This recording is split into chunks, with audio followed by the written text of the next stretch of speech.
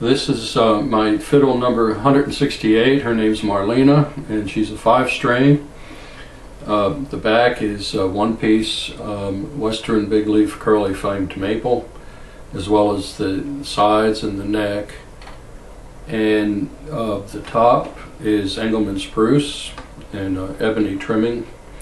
And I have prim strings on it with a prim viola C string and uh, play a little bit so you can hear her voice.